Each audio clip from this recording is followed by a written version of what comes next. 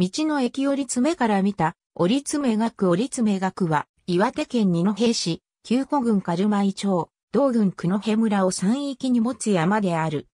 山頂は二戸市と久野辺村の境にあり標高は852.2メートルである。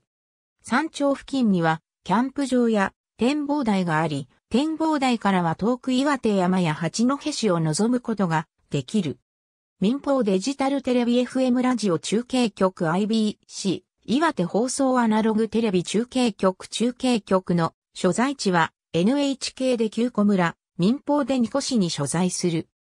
IBC 岩手放送は FM 保管中継局として2016年10月6日に総務省東北総合通信局より予備免許が交付され、12月22日に本免許が交付、12月23日に運用開始した。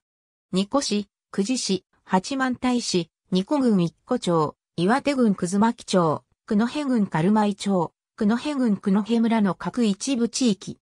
IBC ラジオは2006年1月23日から南朝市対策として地元二古市のコミュニティ放送局カシオペア FM を通じて一部の番組の再送信を行っている。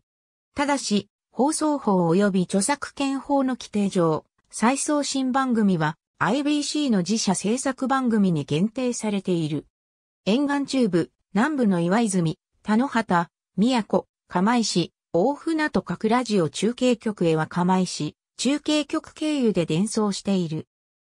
ABCDE 予備免許の概要、ABCD 無線局免許上等情報、ABC 無線局免許上等情報、株式会社ラジオ福島、及び株式会社 IBC、岩手放送の FM 保管中継局に予備免許株式会社 IBC、岩手放送、及び株式会社 FM 岩手の FM 中継局に免許、免許の概要を FM 保管中継局の開局状況総務省東北、総合通信局参考資料岩手県、くずま町におけるブロードバンド化促進のための調査研究報告書 PDF。